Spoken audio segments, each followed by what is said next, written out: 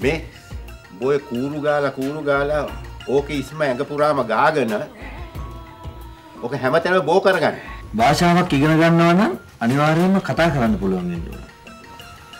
එහෙනම් සමාජසර් මාත් එක්ක ඉංග්‍රීසියෙන් කතා කරන්නකෝ.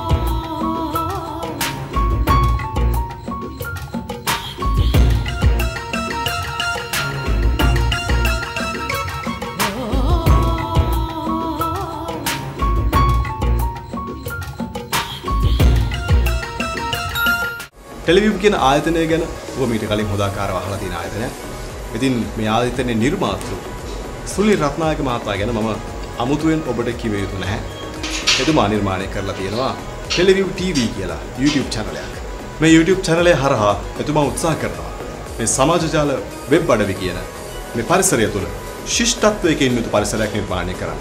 මේ සියලුම කාරණා සමග ඔබටත් එක්කාසු වෙන්නට පුළුවන් ටෙලිවිව් TV කියන YouTube channel එක subscribe කරන්න. මම ඔබ සියලුම දෙනාගෙන් ඉල්ලනවා මේ channel එක subscribe කරලා ටෙලිවිව් TVත් එක්ක එකතු වෙන්න කියලා. බොහොම ස්තුතියි.